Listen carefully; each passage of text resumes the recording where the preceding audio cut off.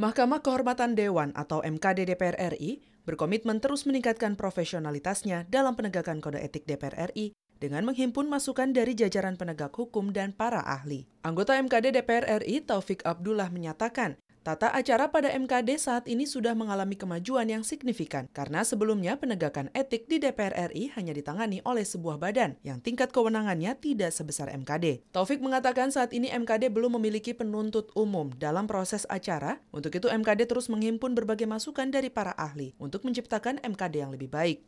Tidak sebagaimana sekarang, karena sekarang ini sudah mahkamah, artinya bisa memutus eh, apa namanya Eh, kasus-kasus etik yang ada dan itu bersifat final eh, sehingga sudah sangat kuat. Artinya bahwa kalau melihat itu posisi MKD sangatlah kuat. Wakil Ketua MKD DPR RI TB Sunmanjaya menyampaikan, MKD tidak akan ikut campur dengan masalah hukum para anggota DPR RI, namun MKD DPR RI perlu memastikan Proses hukum berjalan sesuai alur yang semestinya. TB Sunmanjaya mengatakan MKD hanya akan memproses kode etik yang dilanggar oleh anggota DPR RI berdasarkan kode etik DPR RI yang mengatur sanksi bagi pelanggar kode etik. Di antaranya sanksi ringan, sedang, dan berat. Mungkin satu hal yang belum lazim di kita, karena itu kita perlu ada presiden ya untuk pendalaman.